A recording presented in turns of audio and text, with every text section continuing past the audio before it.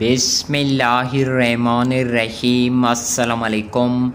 محکمہ موسمیات نے آج پیر تیبیس ستمبر کے روز اور آنے والے مزید دو روز کے دوران ملک بھر میں شدید گرمی، حبس اور بارشوں کی بڑی خبر سنا دی۔ کہاں کہاں پر اس کے متعلق بڑی اپڈیٹ لے کر حاضر ہوں، ساتھ میں چینل کو سبسکرائب اور ویڈیو کو لائک اور اپنے شہروں کا موسم کا حال جانے کے لیے کمنٹ میں نام بتائیں۔ بہت شکریہ۔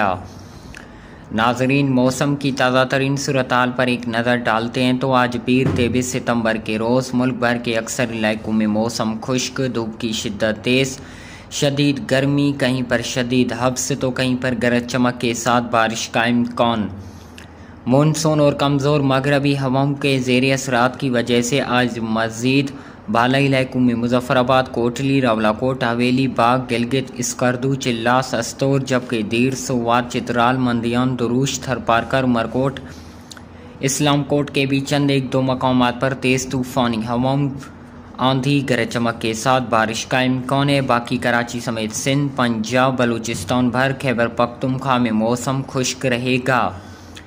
آنے والے دو روز یعنی پچیس ستمبر تک ملک بھر کے بیشتر علاقوں میں اکثر موسم شدید گرم خشک رہے گا۔ اس دوران روزانہ کی بنیاد پر بالائی علاقوں میں ایک دو مقامات پر بارشوں کا امکان ہے۔